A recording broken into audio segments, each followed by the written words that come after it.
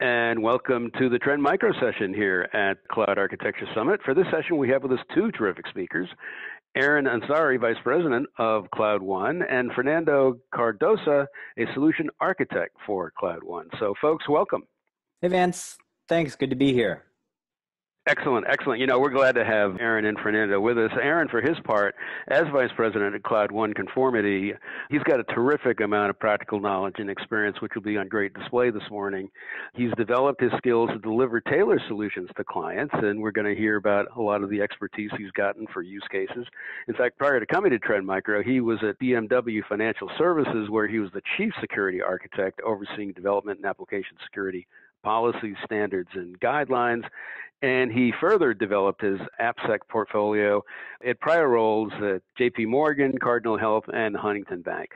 And for his part, Fernando brings more than a decade of experience working with cybersecurity. And prior to Trend Micro, he was working with the network engineering team and sales engineering with data centers, cloud DevOps, and cybersecurity. So a lot of expertise here for today's session, which is entitled Open Doors with Cloud Security Posture Management you know, a lot of the topics that we're looking here at Cloud Architecture Summit will definitely rely on your ability to ensure security and integrity of access. So we're going to take a look at high velocity releases, how they lead to a fantastic boom in feature rich, up to date apps, but that can often, as we all know, introduce quality issues and even risk. So Fernando and Aaron are going to look at best practices to manage risk associated with infrastructure tied to high velocity app updates and DevOps in particular. And we're also going to get a demo of this great technology from Trend Micro. So a lot going on for folks that are cloud native as well as folks that are looking to modernize their hybrid applications environment. A uh, quick reminder before I turn it over to Aaron and Fernando, we've got a great list of assets that are available right now, no registration required, including that big red button that'll get you to the slide deck. So we recommend at your convenience during the session to take a look at the assets there and download at will because they're all available for you. So with that, let me turn it to you. Guys, tell us about Open Doors with Cloud Security Posture Management. Thanks, Vance. Great to be here and certainly proud to represent Trend at this conference. So, certainly thankful. With cloud security posture management, I'll get into exactly what it is and what it means a little bit later in the presentation, but I want to kind of just back up a little bit and talk about why this field even exists. And so, if you think about what's been happening with the migration to cloud and companies' journey from on prem to cloud, there's been quite a collection of differences and quite a collection of, I'll say, issues or opportunities, depending on how you look at it, with that migration. And so Trend Micro, with the tens of thousands of customers that we have, such a huge presence in the cloud, lots and lots of data that, that we're gathering sanitized and safely, but lots of information and data that we're gathering from our technologies, as well as discussions and conversations with our customers. What we're seeing is a set of common issues. And what I mean by that is, regardless of what vertical you're in, regardless of where you are, there are certain issues that just happen time and time again. And so one of the things that we did was we took and we aggregated those out. And so what we're seeing time and time again with organizations as they migrate their applications and workloads to the cloud is issues with storage, problems with the way that they have their key infrastructure set up, incorrect logging, too many permissions, identity and access management things. And regardless of what you're doing and how you're doing it, we're seeing this just continuously. And so what we did was we actually took a lot of that data and we created a report. Uh, that report is called the new norm for 2020. And it was actually released before 2020. I know we're kind of in summer already, but the good news is we got it right. right? So we took all this data, we created this report, and we hit the nail on the head with what is going to happen in 2020 as it relates for security software application network, those sort of things. And so you see we're going to have increased attacks in the DevOps pipeline, serverless platforms. But what we're here to talk about today specifically is that misconfigurations will compound the risk in the cloud. And that's what we're going to hit on as we go through this presentation. So, what we're seeing, as I mentioned earlier, is regardless of where your organization is in relation to its migration to the cloud, and the reality is some parts of your business are likely at different stages, meaning some business units could be cloud native or cloud first, and other business units could be cloud curious. You're going to have these opportunities or these issues as they relate to the configurations. And so, what we've done is taken that data, we've taken that information, and we've added it onto the fact that the cloud providers are just providing more and more services and more and more complex ways to build out applications in their environments. And so when you overlap and combine those two, you get more complexity. You have many more companies making their migration towards the cloud. You have kind of that opportunity for those misconfigurations that we predicted back in November. And so there's this burgeoning field that's now come out of it. Of course, once Gartner gives it a name, it's, kind of official. And in 2019, the name was given Cloud Security Posture Management. And so you see the definition that's listed up here. But the point behind it is there's this need for the management, to use the definition with the term, of the configuration that you're doing and building out in your cloud environment. And if you step back, just kind of minor step back, you understand when you're working with your cloud provider that the onus is on you for certain things. Sure, the cloud provider is there to give you a set of infrastructure, give you the hardware, give you the compute, those sorts of pieces. But there's a large burden that's put on you to ensure that your application is up to speed, to ensure that the operating system is patched correctly, to ensure that the identity and the secrets and all that sort of stuff is taken care of. That's not the cloud provider's duty. And so when that burden is put on you and you're doing your migration into the cloud and you've got this new set of technologies and this new field to work towards, there's a lot that you have to take care of. And so let's take a look back of the way that things used to be. And this isn't necessarily meant to be a walk down memory lane, but if you remember, you procure a server from you know Dell or HP, it would get shipped to you. Some team would come and rack and stack it. Another group would come in and kind of harden it and work on the OS the other group would go through and make certain that the security settings and, and those sorts of components were tested and approved correctly. Then we'd apply the middleware and certain pieces of architecture that needed to be applied there from a software perspective. Database team would come in and configure and set up SQL or, or whatever database technology that's being utilized. Application team would come in and then kind of build the application. And then finally, your go for launch. And that's a lot of different resources and a lot of different people and a lot of different teams that, that were responsible for that that's gone away now. The way that you're doing it with cloud is that it might even be a single person that's going to one screen, taking that five week process and boiling it down to five minutes and adding the storage and adding the database all with a click of a mouse and a button. And the opportunity to have these configurations and the expertise that's gone with that becomes kind of glaring and becomes misconfiguration. And so then you stack on the development that needs to happen there. You've got development teams that aren't security focused, that just simply want to build, build, build quickly, quickly, quickly, velocity, high speed, stand up, Kanbans and DevOps, all the way to make the velocity of the releases that they're doing as fast and as frequently as possible. You introduce many different opportunities for issues to happen. And so what ends up happening is you've got limited visibility, right? Because teams are all operating in different places and kind of all over the board from a technology perspective, as well as from an enterprise across your enterprise perspective. You've got the inexpertise that comes with the various different teams that are doing things. And when you have issues that are introduced early on, say you're using software defined infrastructure, infrastructure as code, and that, that template came from a download that somebody did off of GitHub or off of Stack Overflow. You've got issues that are all the way at the beginning or the genesis of your application. And those compound once you launch your application. So you've missed out on kind of that expertise and that visibility that comes with all those various teams that did it the old way. And so you've got issues that have to go with your containers. You've got issues that are tied with your storage. You've got issues that are tied with PKI and keys not being rotated frequently. Does this ring a bell? Right? These are the things that we saw in the very first slide um, when we're talking about top misconfigurations within the cloud. And so, what you need to do to move towards a better or more secure or more, I'll say, operational excellent posture is to have some sort of central repository, a place that you can look at your monitoring of your entire cloud infrastructure. You've got to tie in some automated checks and compliance to work with that because the cloud and the cloud architecture team can't be doing this all manually you've got to overlay compliance on top of that to migrate to some standard. And, I might, and it might it might not be a federal standard, but it could be a cloud posture standard, like the AWS Well Architected Framework or the, the tenets of great architecture from Azure. And you've got to kind of build and migrate towards DevSecOps, SEC ops there.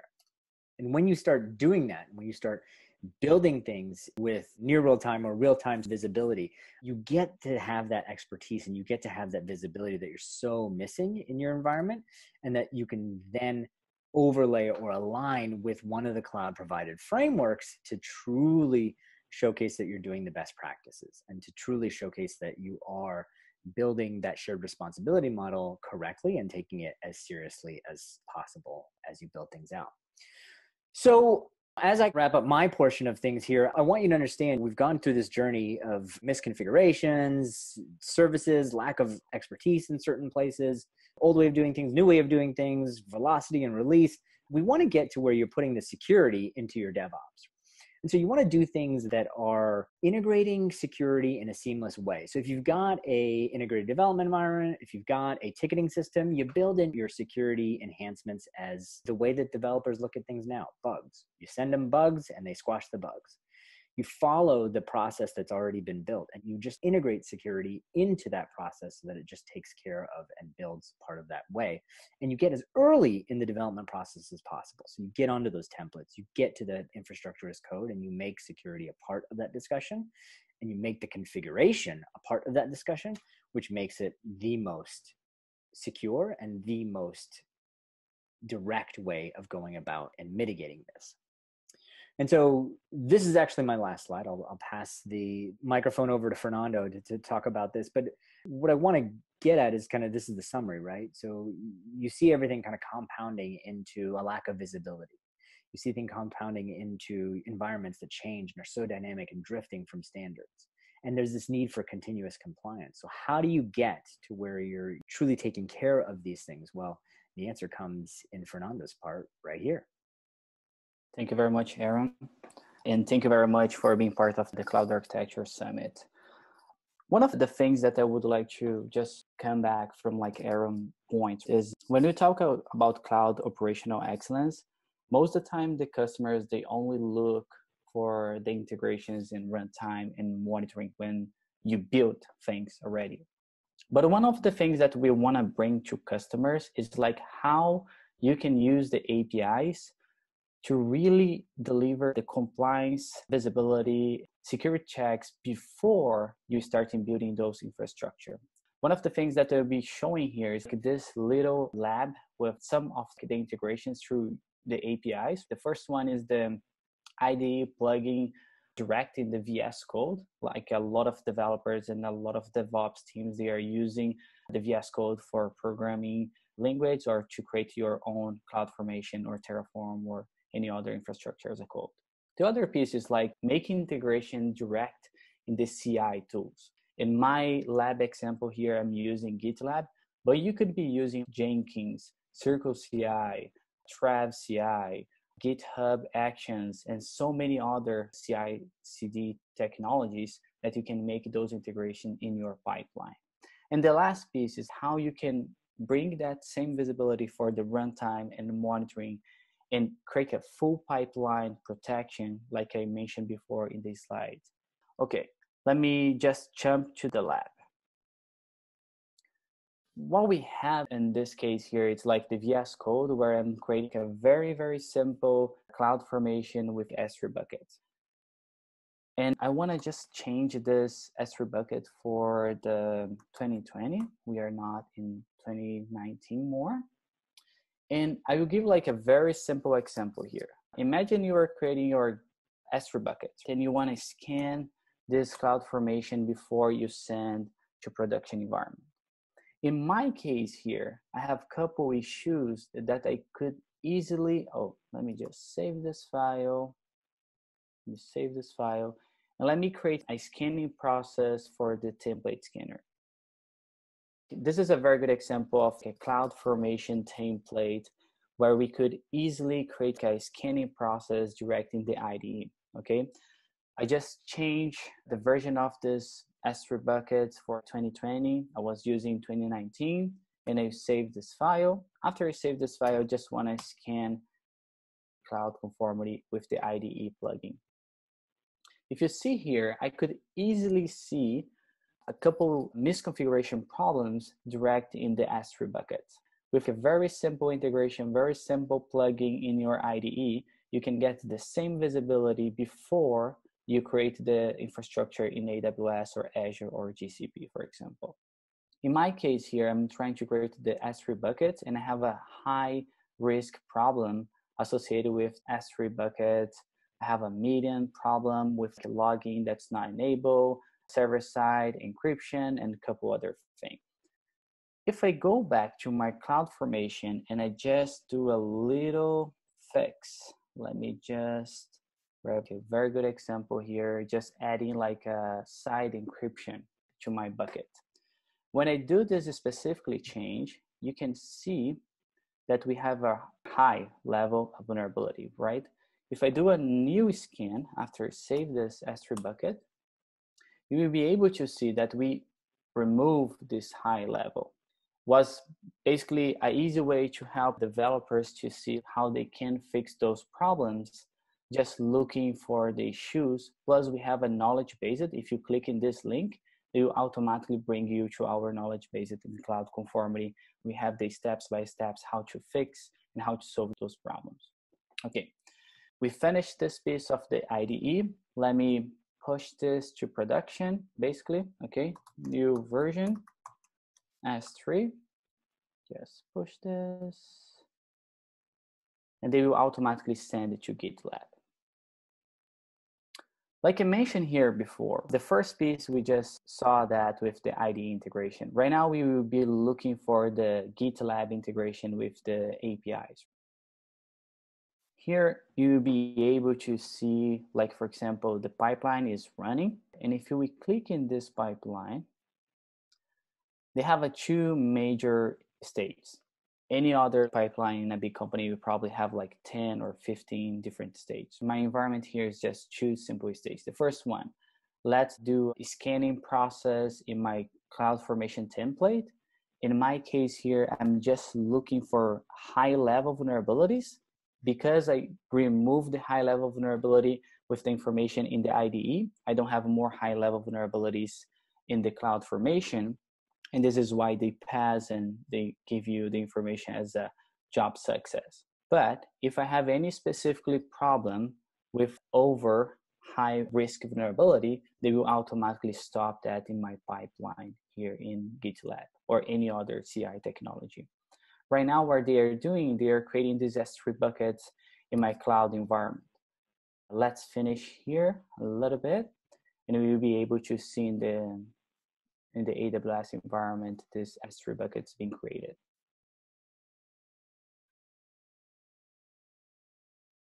Okay, right now they just finished the job success to create the S3 bucket. And if we go to my S3 bucket,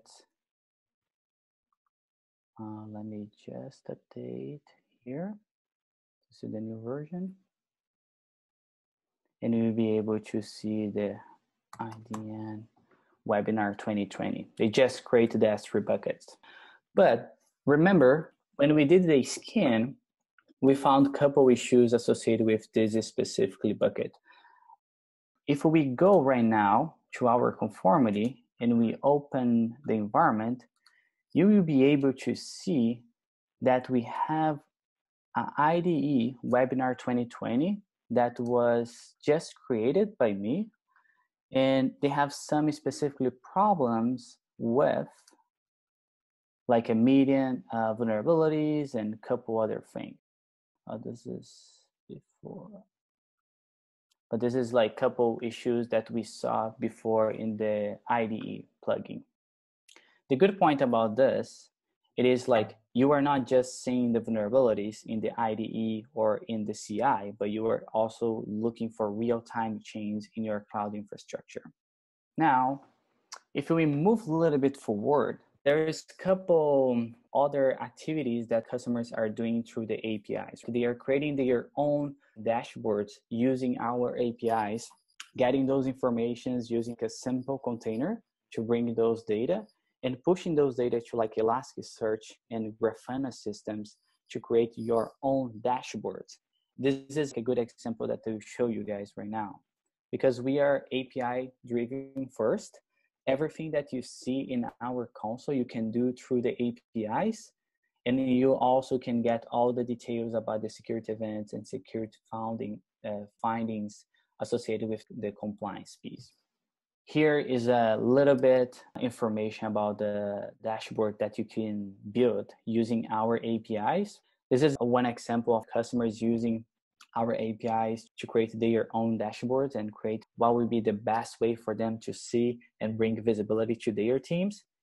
But this is a very good example showing how many success, how many fails, how many suppress checks they have, how many AWS Well Architect frameworks they have as failed based in the AWS Well Architect framework report. Here, it's like a full or one-shot visibility across multiple compliance checks like a AWS Well Architect, NIST, SOC 2, ISO 27001, PCI, HIPAA, and so many others. And if you go a little bit more down, you'll be able to see how many fails or how many misconfigurations based in every single compliance standards and how many misconfiguration based in the service like EC2s, Yum, EBS, VPCs, and so many other services.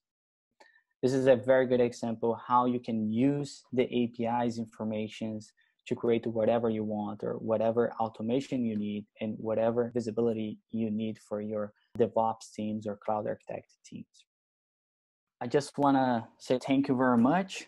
And I hope this session have helped you a lot in how to create a better cloud security strategy for your infrastructure as a code pipelines and how you can monitoring any specifically misconfigurations in the cloud infrastructure. Thank you very much, everybody. Fernando, Aaron, thank you very much for a great look at a very vexing problem, I think, for a lot of cloud professionals, whether they be at the architecture level or even just at the deliver the app faster level. I think the whole issue of security and getting that more streamlined and visible holds up a lot of great ideas. So thank you very much for a great session. You're welcome. Very glad to be here. Thank you. Yeah, you're very welcome. Thank you so much. Aaron Fernando, you really bring up a lot of great implementation issues, a lot of secret sauce and automation, and we're going to get to those in a minute. But just at a top level, you both mentioned the issues of security, misconfiguration, and I think the big question is how do you start? Do you look at your infrastructure or your policy or your app, or how do you get your brain around what to do next? That's a great question. And the recommendation and the advice that we give is kind of first that assessment getting an understanding of where you think your development and your cloud pipeline is being built out is the first step or milestone and then getting that checked or vetted either via technology or by some partner or a third party is probably the, the next step to go to. Odds are though when when a third party or somebody else comes in to do the assessment with you or in, with the work that you're doing they're going to be using a cloud posture technology just like ours because we power many of those Fernando, I think you had some other advice as part of it too. Yeah, for sure. One of the funny facts when we talk about misconfiguration, and I was reading an article from Gartner, they mentioned about 99% of the companies in 2023 they will be having specifically problems with misconfiguration because the failing process that they have with development and DevOps and pipelines.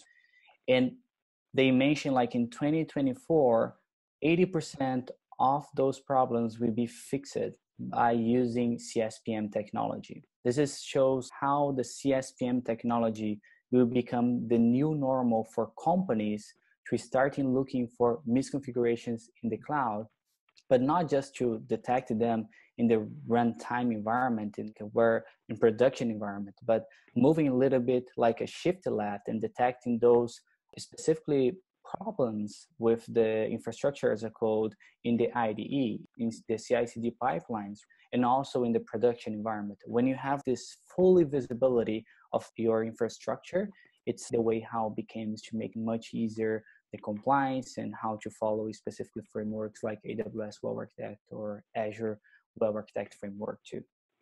Wow, excellent, excellent. You know, you may know that we've got a lot of different job titles here at the Cloud Architecture Summit. We've certainly got the folks that care about security day and night, but we've also got the architect and the apps folks and even some general IT operations people. So let me just give you an opportunity here. So many different technologies and features you talked about with Trend Micro Cloud One. Talk about some of the specific tools that you're finding are becoming most useful to the customers you have now and how Cloud One is integrated integrated them together into a, a much more seamless or intelligent way to deal with these issues? Very good question. One of the main points about the Cloud One platform, it's not just protecting one little piece of your high level strategy of the hybrid cloud environment. Our goal with the Cloud One platform, it is protecting since your physical server that you have in your data center until your Lambda functions that you have in AWS or in Azure or in GCP. It is like how we can bring to the market to help companies to migrate or to do the cloud migration or cloud native usage of applications in the cloud with a single security platform. And that's our main goal and how we're removing the frictions between the security teams and DevOps. Also, we are doing a lot of automations and trying to help cybersecurity teams to involve a little bit more with the developers and cloud architects too you both mentioned DevOps and this transition or pivot to DevSecOps. This is certainly top of mind. Here's a question. We've had difficulty in getting from DevOps to DevSecOps. How is Trend Micro helping integrate security into our processes? As I mentioned, weaving it into the process that exists today is one of the most delicate, but one of the best things if you can get it right. There's a couple ways to do it. There's some operational things that you have to do. There's teams that you have to get to know. There's processes that you have to get to understand. There's some technology things that you have to do or technological things that you have to do. You got to understand ticketing systems, work queues, development environments, all that sort of stuff. But when you start to speak security in the way that developers speak they're developing, and you start to overlay the security findings with the way that the developers develop by bugs and feature requests and enhancements and those sorts of things. That's probably the number one success that, that we've seen our customers do is utilizing their ticketing systems making the security requests be enhancements or bugs or patches and leveraging the relationships between the teams. I really believe the companies they should be helping the cybersecurity teams to understand more about development, programming language, scripting, and all those type of things. Because when the cybersecurity is starting understanding those type of conversations, be much much easier for them to be included in the DevOps discussions or new applications and all those type of things. It is just like the way how DevOps works, the new culture that they are bringing to companies. I think cybersecurity teams should be involved in this new culture and starting learning those technologies to help them to ease automate security and how to add security before in the early stage of the development of the new applications. You know, this is an excellent conversation so far, guys. Let's go to the demo again. This time, let's talk about automation. You know, Fernando, you showed and talked about the idea that you can do some automation to shut down vulnerabilities in an app pipeline. Talk a little bit more about that, but also how do the customers set those rules up? Are there triggers or a configuration screen? What is the best way for a user to set them up, or do they come preset in Cloud One? Basically, the example that I gave here is like a simple plugin that you can go to the marketplace in the VS Code and just download the Cloud One conformity. And by default, we use the default profile, but you could use a specific profile. Imagine, for example, your company has like a NIST request or AWS Well Architect or CIS benchmark and all those type of like compliance and standards. But you could select those profiles and run against those profiles to find a misconfiguration based on those standards. What we are looking this specifically piece is like a misconfiguration in the cloud infrastructure as a code. But we have inside Cloud One so many other technologies like a container security where we can scan the container image before they go to production environment in the Kubernetes clusters. Or for example, application security where you can add a security framework library inside your web application. And when you deploy that in production, we'll be able to monitoring for any specific web attacks. That's one of the ideas of like shifting left and helping more in the development process.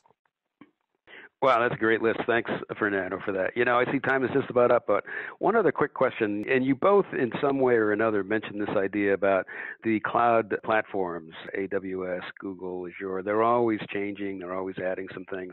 And this, I thought, was a really kind of an important question. It asks Does Trend Micro continuously update Cloud One or our installation of it so we're always compatible with our public cloud updates?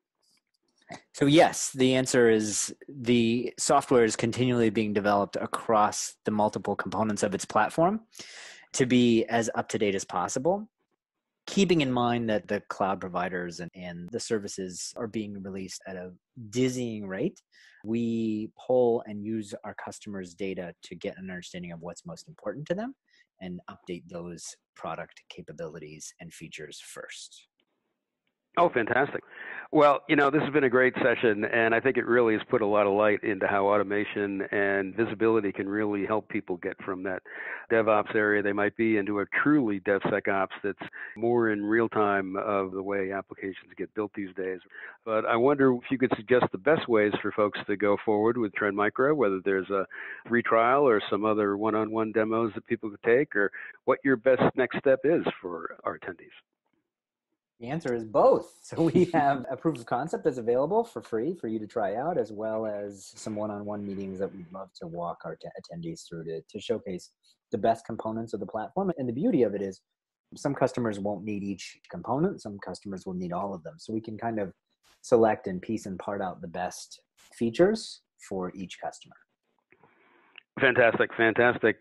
Aaron Ansari and Fernando Cardoso at Trend Micro, thanks very much for a great session. A really good look at Cloud One and how it's helping people move from DevOps to DevSecOps. It's been fantastic having you here, and it was great to get such great extra info on the Q&A. Appreciate your time. You're welcome. Thank you. Thank you. Oh, our pleasure for sure, guys. And just a quick reminder, we get these great links right underneath, including the link to the free trial and some other ways to engage with Trend Micro Cloud One right now here in the breakout room, along with some terrific downloads and PDFs and other sort of guidance to give you a better look at just the rich offerings that are going on with Cloud One and how companies are using them. And also, we didn't have room for everything. Lots going on at Cloud One, as you could tell by the session this morning. So here's a slide that'll take you to some other great resources directly from the Trend Micro website. You download the slides here from Aaron and Fernando, and all these links will be live. Thanks again, everyone.